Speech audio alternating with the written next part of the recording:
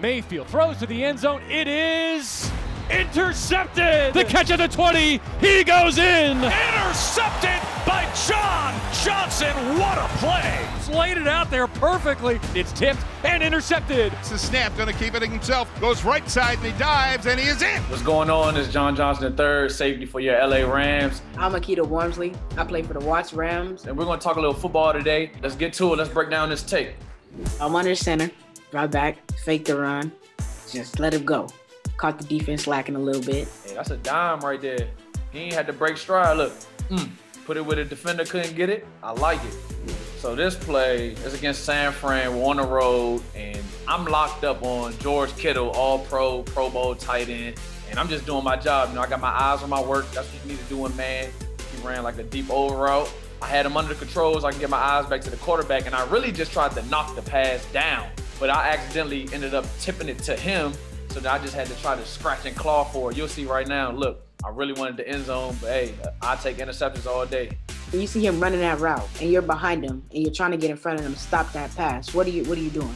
You don't want to overrun it. If they're running over routes, the first hash mark, you kind of want to be on top of the guy. By the time he hits to the second hash mark, you want to undercut it and it makes a hard throw for the quarterback. He either had to throw you the pick or throw the ball high and over top, and that way it it make it a difficult throw, a difficult catch.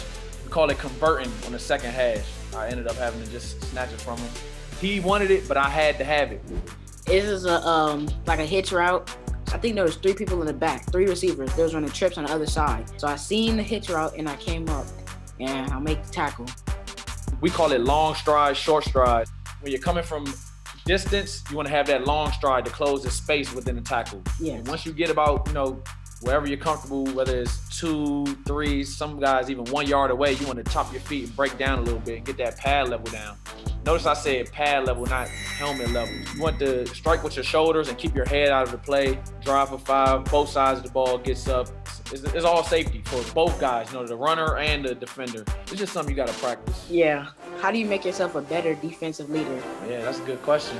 You're just building that trust within your teammates, and I think most importantly, you got to hold yourself accountable before you hold other people accountable. But holding other guys accountable is really the big thing. Like you would think a guy like Aaron Donald is the big bad wolf on the team. I make sure that I hold him accountable so other guys on the team know like, hey, this is the standard. We all got to meet it. We all got to meet these expectations. And I don't ask of guys things that I can't do or that I wouldn't do. Just about having integrity and doing the right thing when nobody's watching. That's that's really the biggest thing about being a leader. Yeah. Oh, this is my rookie year. I remember this play because this is my first interception. We got guys running on the oh, field oh, late. Yeah. I'm in man to man here, and I have number 82, so I get lined up late. I'm messing with my mouthpiece. Look, I just tried to get to him as fast as I could. I wasn't even thinking about the ball, but I got to him as fast as I could, and I felt like the ball was coming, and I had enough time and distance to take a peek at what was going on. Russell threw it up there, left it inside, and I snatched it out the air. Yeah, that's a good play right there. Appreciate you. Second and goal, we're gonna do a quick QB uh, draw.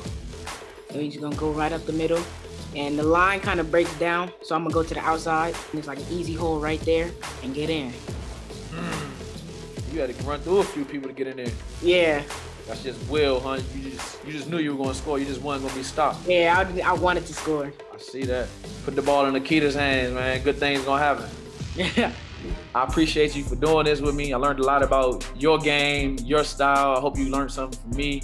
So I just want to give you an autograph football. You know what I'm saying? This is Thank yours. You. I'm gonna get it to you somehow. We'll figure it out. One day it's gonna be worth a lot of money. You know, I'm still working on it. I'm still working on it, but one day it's worth a lot of money. So that's my gift to you. Thank, Thank you. you. Big shout out to Akida. Big shout out to the Watts Rams. Thank you everybody for watching. Um, I learned a lot about Akida. You know, he's my fellow Ram, the Watts Rams. Hopefully I can get down there and uh, see you guys play. And um, thanks for watching.